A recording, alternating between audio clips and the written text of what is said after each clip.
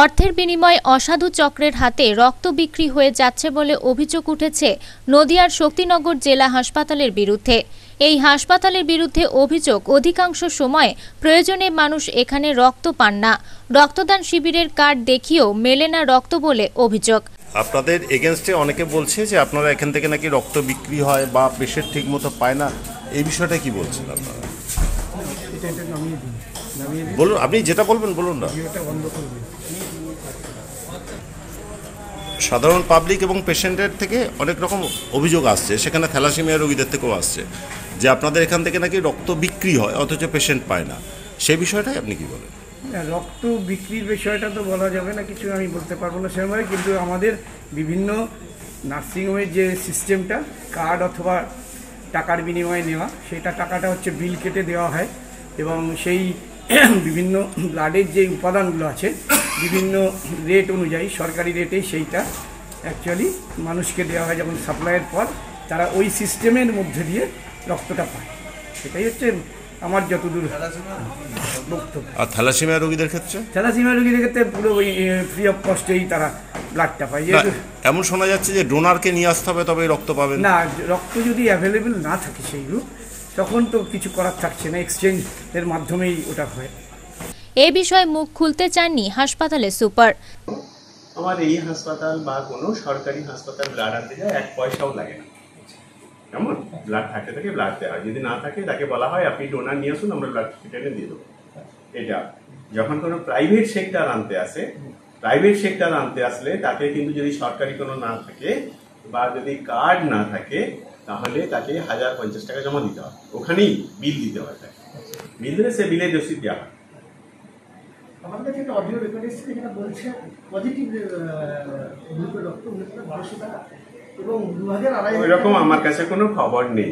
এটা আমি যেটা বললাম সেটা সরকারি নিয়ম। এই বিষয়টা যদি আপনার কাছে কোনো অভিযোগ অভিযোগ আসলে আমি দেখে নেব।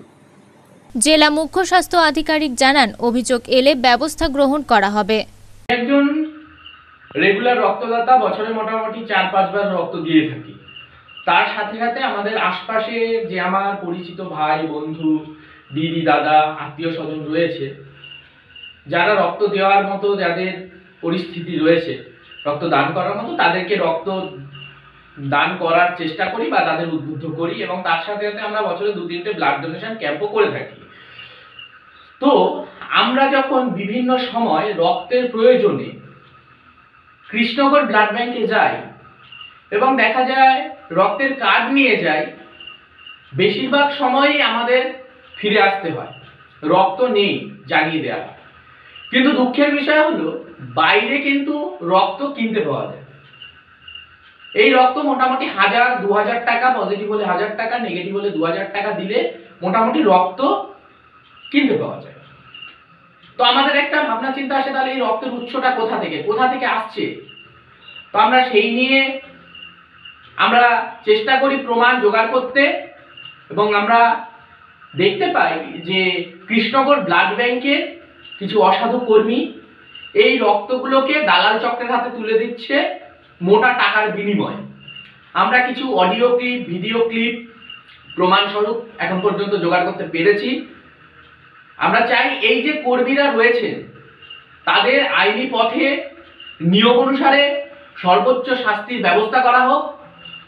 তারা যে নক্কারজনক ঘটনা ঘটিয়েছে, তার প্রেক্ষাপটে তারা এমন শাস্তি পায় যাতে ভবিষ্যতে মানুষের জীবন নিয়ে খেলা করা, রক্তকে ব্যবসা দ্রব্যে পরিণত করা, সরকারি এই অসাধু কর্মীবৃন্দ, আর দ্বিতীয়বার এই ধরনের কাজ করার সাহস না পায়। নদিয়া থেকে মাধব দেবনাথের রিপোর্ট আনন্দ বার্তা।